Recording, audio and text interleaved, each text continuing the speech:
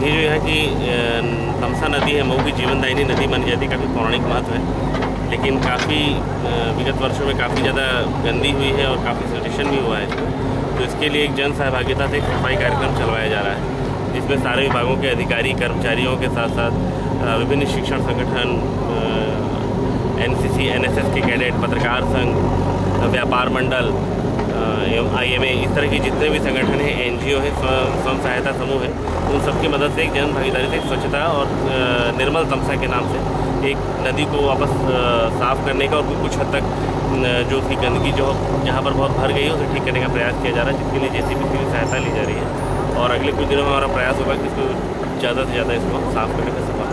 यहाँ पर यहाँ पर जैसे अभी हम देख रहे हैं कि यहाँ पर काफ़ी खुले में शौच की व्यवस्था नगरीय क्षेत्र में भी नज़र आ रही है। तो अभी मैंने चेयरमैन और ई नगर पालिका से ये बात की है कि जो स्वच्छ भारत मिशन का जो नगरीय घटक है उसके तहत इस जगह को देना पड़ेगा और रोज़ सुबह से यहाँ पर मॉनिटरिंग और ट्रिगरिंग की व्यवस्था करनी पड़ेगी जिससे जनता में जब तक जागरूकता नहीं आएगी तब तक नदी की साफ़ सफ़ाई के सारे काम और क्या यहाँ पक्के शौचालय बनाने की ज़रूरत है बंधा तट पर? बंधे तट पर तो नहीं लेकिन आसपास निश्चित तौर पर पक्के शौचालय बनाए जा सकते हैं सामुदायिक शौचालय बनवाए जा सकते हैं पब्लिक टॉयलेट की व्यवस्था की जा सकती है। और साथ ही लोगों को जागरूक किया जा सकता है कि अपने घर में भी टॉयलेट का निर्माण करें और उसका